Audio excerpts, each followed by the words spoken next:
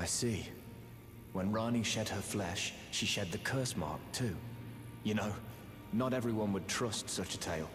But if she in her current form is nothing more than the living doll you profess, then perhaps it's true after all. Hmm.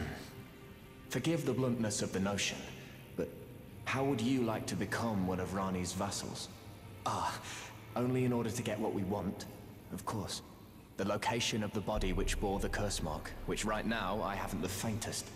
And the best way to find out is for you to enter her service and take a poke around on the sly.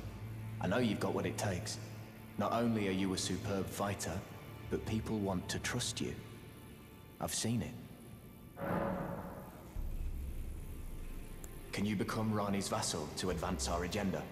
While in her service, you'll be able to take a poke around on the sly and determine the location of her original body that bears the curse mark. I realize that I'm asking you to put yourself in grave danger, but I know you've got what it takes. Quite possibly the only one, in fact.